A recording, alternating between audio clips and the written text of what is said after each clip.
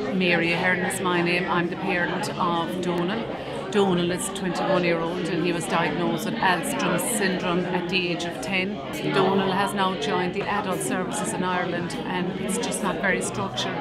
So we decided we'd come over and get a little bit more information. Also, I'd like that there be a lot more awareness and that the general public would be more aware as to what's involved on a day-to-day basis for children and adults with Alström. So I'd like it to be more resources, that it's more accessible for people with Alström also.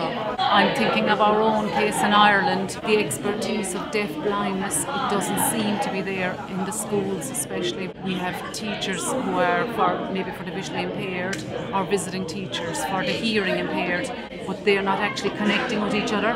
So it's to have the expertise of deaf blindness on its own and have one person that has the expertise. The day has been invaluable really for us. It's just meeting other families. Some people I've met here today are inspirational really.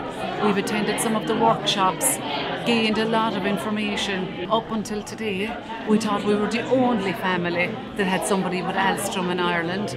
But um, I think Anne advised us earlier that she's aware of two more children up the east coast, but we weren't aware of them. So we're delighted that we came um, for meeting all the families, etc. here today.